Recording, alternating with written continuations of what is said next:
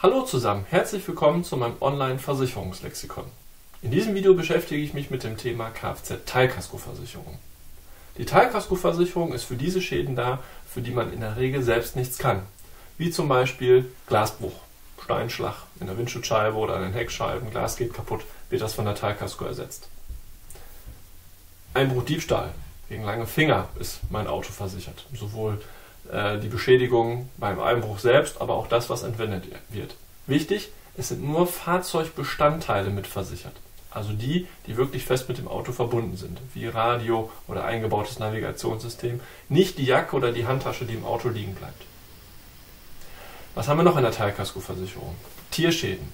Wenn also zum Beispiel Wildschweine oder Rehe, aber auch Hunde und Katzen überfahren werden und Schäden hinterlassen, ähm, wird das über die Teilkasko reguliert. Dann haben wir alles, was mit Feuer zu tun hat. Schlägt der Blitz ein oder der Motor fängt Feuer, all das sind Teilkaskoschäden. Natürlich sind Sturm- und auch Hagelschäden über die Teilkaskoversicherung regulierbar.